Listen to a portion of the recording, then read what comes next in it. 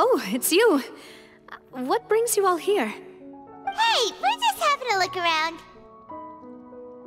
I'm here to update myself on how things are going here. Hmm? Oh, the Fatui are here too! Ah, uh, let me introduce you. This is Mr. Garunt Snežević. He represented the Knave in sending us a large amount of supplies, and is helping with our work. Our residents are hard at work as well. Thanks to everyone, work is progressing nicely. We've lost a lot of people, but we're moving forward. That will have to be enough. Hello, Miss Charlotte. I'm a big fan of yours. I especially like that article you wrote last year about Fontaine's stray cats. But if you don't mind, could you not emphasize our role too much in your report? It's not charity we're doing here. We just happen to share the same interests as the Spina. I get where you're coming from. I'll keep it as simple as possible. Or would you be willing to feature as friendly neighbors? That would be fine. Thanks! Oh, you're back too. How are things? We finished laying down the construction materials. It'll be another hour before the workers are able to go over there. Huh? You're here too, Clorinde? Well, her reputation's greatly risen after that whole duel business with Miss Furina. So she's here in Poisson to wait out the heat. Uh, all right, all right. She really came here to help me out. There's too much to consider in the reconstruction of Poisson. The Spina has need of more decision makers. And, well, I do already happen to be connected to Mr. Callas. Oh, wait just a moment. Do you mind asking a few questions? You know, about how you felt before the duel, uh, about what it was like facing down a god. There's lots of exciting material there, I bet. Ugh, Forget it. I'm sure you can find a better theme than that, Miss Charlotte. Oh, I see you're the same as always. Couldn't you do me a favor, for Navia's sake? Well, if we're talking about doing things for my sake, you might as well just take a few more photos of me. Or of the Traveler. It's better than wasting time persuading Clorinde at any rate. Of course I will. I'm not gonna let him off that easy. All right, then everyone who wants to be in the photo, gather up. And smile.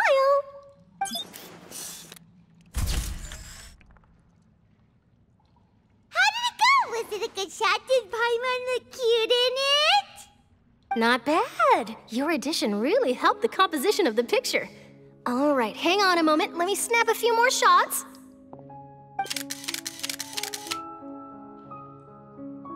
All right, that should do it. I'll be back here later anyway, so uh, let's call it a day. You're very quick. Speed is of the essence when it comes to the news, and freshness is the key. Also, not to brag, but I'm pretty good at building connections. Who knows? I might eventually get that interview with you after all, Miss Clorinde. Wow, you really do have that never say die spirit. I'm impressed. I'll hazard a guess that this is how you got that interview at the Fortress of Meropide.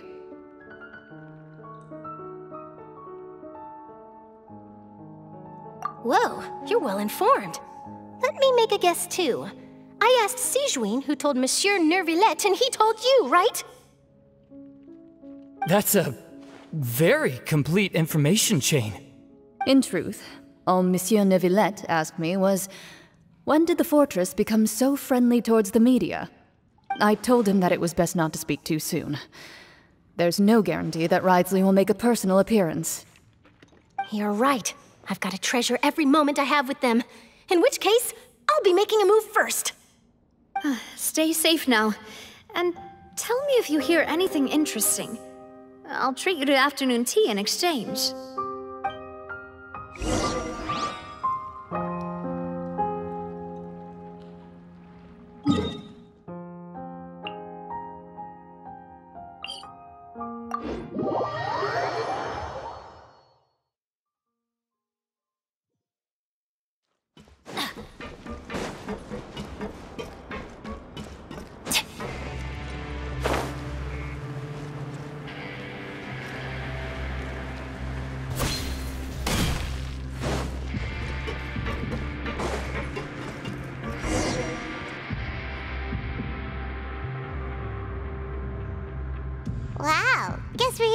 Fun, huh?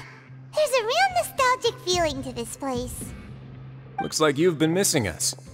Duke! Did you come all the way to the entrance to greet us? Of course. I'm here to welcome you and our dear Miss Charlotte, whom our good head nurse recommended to me. It's an honor to finally meet the much rumored Duke. Thank you for consenting to my visit to the fortress, sir. No need to thank me. But that said, I shouldn't be the focus of your interview. I trust you recall our agreement? Of course, of course. All right then, this way.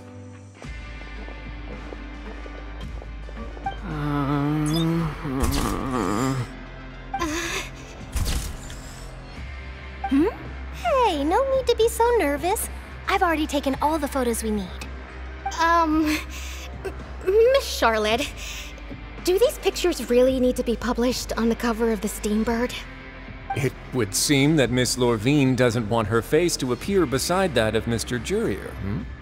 Sir, please don't say things like that. But it looks like dear Mr. Jurier denies it. Might this interview be very important to you then? No, I, I, I just. This is my first time being interviewed, and I'm very thankful to the Steambird for. Now, I might not look it, but I actually did meet Mr. Edwin once. And I'll be honest, I enjoyed chatting with you more.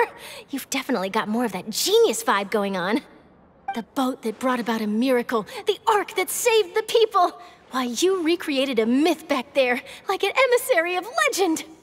Still, if I might ask, where's that flying ship now?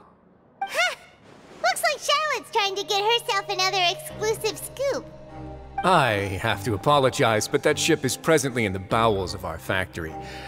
I'm afraid it won't be easy for you to get a shot of it. Really? Well, then in that case, could I have an interview with you to make up for that loss?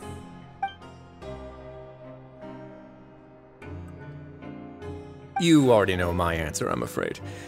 Best you interview our head nurse instead. Or perhaps you'd like to take another photo of this couple of researchers? Did you really have to use the word couple? Well, then, two solo photos will do. Is my hair messed up? Please, someone help me have a look. Things sure are getting pretty lively here. Ah, we've seen this kind of thing before. Oh, seems like everyone's here. Would any of you like to try this new drink I came up with? Ah, Sigewinne. Uh, uh. Hey, Miss Charlotte. Why don't you, uh, take some pretty photos of our head nurse? Hmm? Uh, sure. Come on, Miss Sigewinne. Over this way. Let's find a brighter spot. Huh? Uh, oh, uh, sure. Uh, do I have to smile? So, how have things been at the fortress?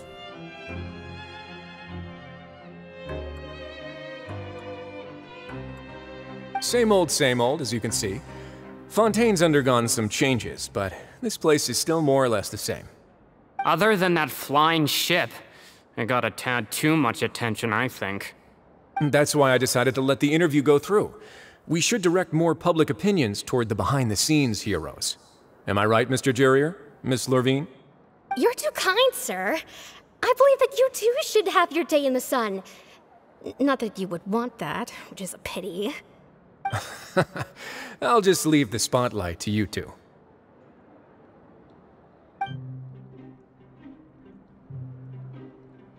I see. Lots of things happened that day, huh?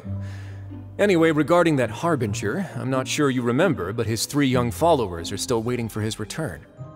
He sure did win them over, huh? I'll tell them that there's good news and bad news. The good being that their boss seems fine, and the bad being that they must face extended sentences for abetting his escape. Oh, actually, what about you? Are things gonna change for you too? What change can there be? The fortress will keep chugging along, and so will my duties. As to what Miss Furina's departure will mean for the nation, and if our laws and governance will be transformed, we'll leave those to the folks in the overworld. Hey everyone, the photo shoot's done. Good. In that case, let's call it a day here. Thanks for your cooperation. Come on, traveler, let's go. Till next time, everyone! There'll be a next time? Maybe. Who knows? I might write a story about the underwater factory next time. Until then. All right. Last stop, the docks.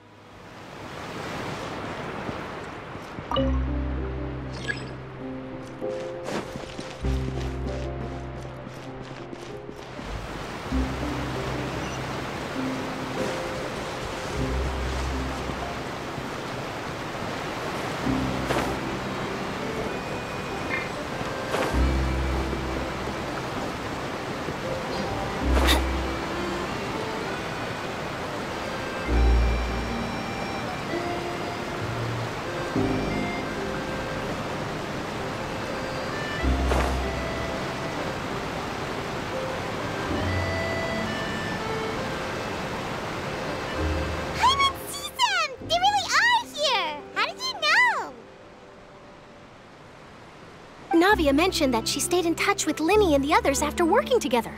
Apparently, they've been at the docks distributing these strange pockets the whole time since. Traveler, Paimon. Ah, and Miss Charlotte, too. Would you like a magic pocket?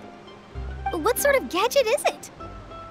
It's a wondrous bag that can be used to carry many things. The water level has returned to normal, but if you see any of your things floating around, you can use this to carry them. Or you could trick a friend into doing it for you. Trick a friend? Hmm, I wonder which of my friends would fall for that.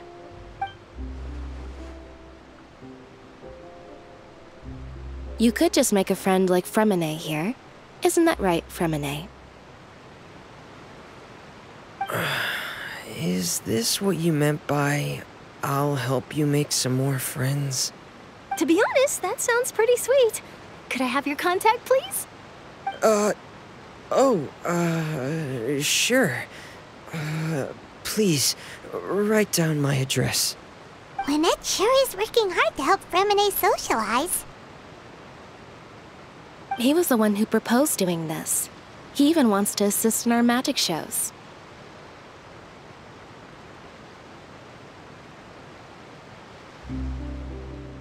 Yes, I was planning to first introduce Pear as an assistant, and later Freminet himself. In the future, I think we can leave underwater escape magic to him too. That said, would anyone want to see a diver escape underwater? Oh, it'll work out. Every journey begins with the first step. He'll become a part of our show eventually. Uh, Lynette, could you come over? Miss Charlotte says she wants to take a picture of us. Got it. My, that Charlotte is rather perceptive. She got rid of everyone the moment she realized I had something to say to you. Hmm. So, how have things been, Traveler? Father says that you did a great deal during the latest events.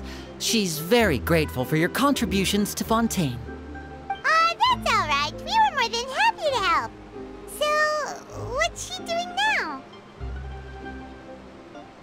Oh, I guess you haven't heard. Well, after Lady Furina left, Father and Monsieur Neuvillette opened negotiations, during which he gave Fontaine's gnosis to her as a diplomatic gift. A diplomatic gift? A gnosis? Yes, I was quite surprised at first myself. But when I thought it over, there were actually a number of things going for it. It could have been done as an apology for the incident with Lord Childe, or as thanks for his help in tying the all-devouring narwhal down. Furthermore, Father did also lend significant aid to Fontaine and Poisson. Well, uh, that's true, but this is a gnosis we're talking about. Doesn't this seem a bit uh, irresponsible? I would agree, but I've also heard that it seems that Monsieur Neuvillette has had a significant change of heart regarding the matter. Uh, so there's some reason for this that only Neuvillette knows about? I suspect you'll have to ask him about that yourself. Ah, yes, speaking of which, I did see him strolling around the entrance to the Fortress of Meropide a while back. Uh, isn't he real busy and stuff? Paimon didn't think he'd have the time for that. But back to the topic. The Gnosis was given to the Knave, right? What about Childe? They say that he's returned to Snezhnaya to recover from his wounds. I hear that the recent disaster really did a number on his health.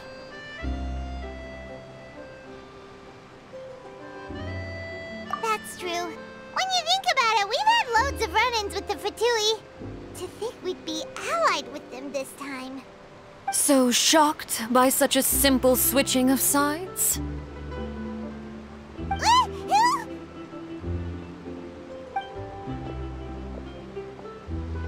Father!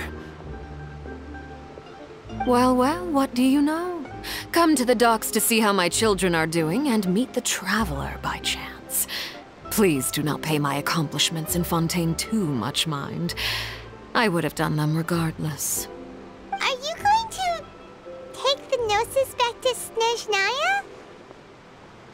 That is our duty as Harbingers, yes. Don't be too preoccupied with sides. The goal of the Fatui concerns not a single place or person, but the entire world. With such a grand goal in mind, it is inevitable that we must wear many masks. Switching my masks is something I've always done. Well, that depends on many things. No one truly knows what the future holds. What good is honesty if you can't rely on it forever? As for you, I very much look forward to our next collaboration. Good things cannot be achieved alone, and you've proved yourselves to be great partners.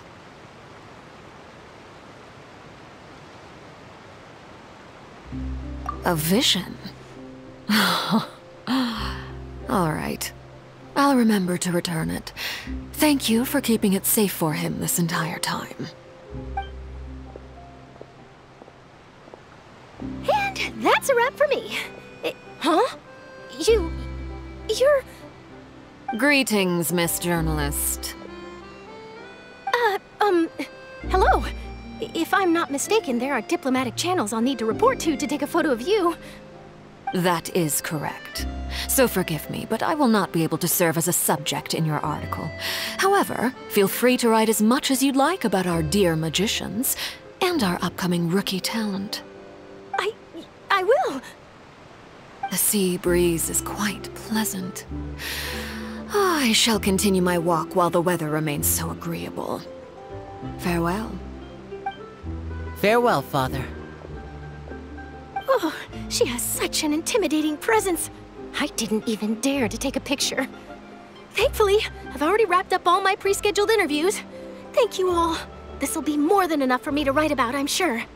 Don't be too nervous. Why don't you take a magic pocket before you go? Here, Traveler, Paimon, you take one too. To move things about? That's right. Funny. I was giving out magic pockets when we first met too. And what do you know? I'm doing the exact same thing right now.